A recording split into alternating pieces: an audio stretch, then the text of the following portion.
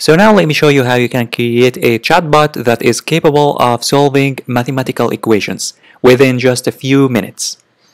So this chat chatterbot provides what's called the mathematical equation logic where it's gonna let the user solve any mathematical equation. And we are talking about simple mathematical equations uh, such as addition, multiplication, division, something like that. So let me create a new script here, new, and then I'm gonna name it math.py. And then, and then I'm gonna first import from chatter chatterbot, I'm gonna import chat bot, and then I'm gonna create a new object here, chat bot, and then let me give it a name. Let me just name it math. And then and then the second uh, parameter that, that I'm gonna pass obviously is the logic logic underscore adapters this is the most important part of this script because this logic adapter or adapters is going to take an element it's gonna just take an element uh, in this list that is going to let this uh, chatbot solve mathematical equations. So how can we uh, do that?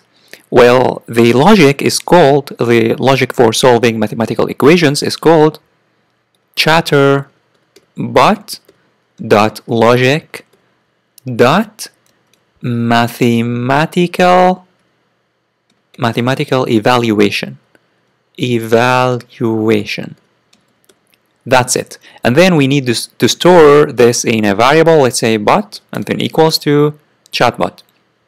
And then now we need to uh, tell the user to type something because if if we don't tell the user to type something, then obviously this chatbot is going to be useless. So let me, like before, let me use while while true to make this uh, to make this an infinite loop while true and then I'm going to ask the user to type something so I'm going to say here input and then here type the math equation that you want to solve. And then I'm going to store the answer here in a variable called user user text user text. And then we want we want to tell that chatbot hey chatbot take what uh, the question that the user has given us and then respond accordingly. Respond with the correct mathematical um, solution.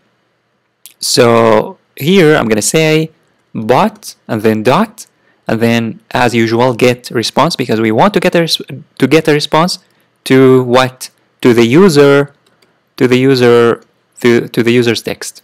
And then we want to print that print the answer. So I'm going to say here print and then here chat chatbot and then I'm gonna uh, here append this and use the string string and then and then we are done. But let's add here a print just to make our script look awesome. I'm gonna say here math math chat bot just at the beginning just once we execute this um, this script is just going to print this and then it's going to start asking the user for uh, qu uh, for questions and then it's going to respond accordingly.